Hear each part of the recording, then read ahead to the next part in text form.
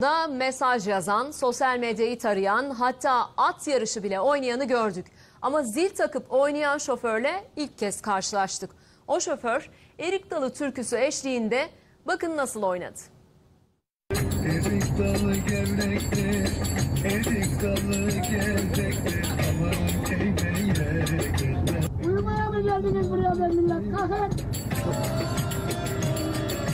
Turizme böyle katkı sağlayacağını sandı. Direksiyon başındayken zil takıp oynadı.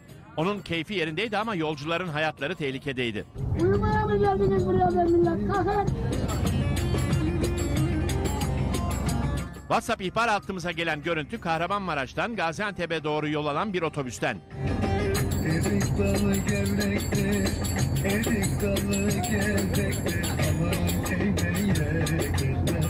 İhbarcıya göre zil takıp oynayan şoför bir turizm şirketi çalışanı.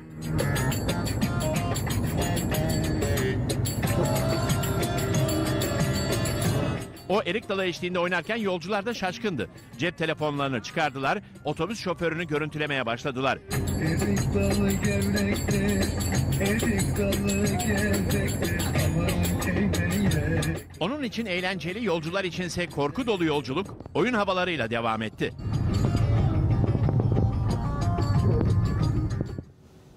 Monk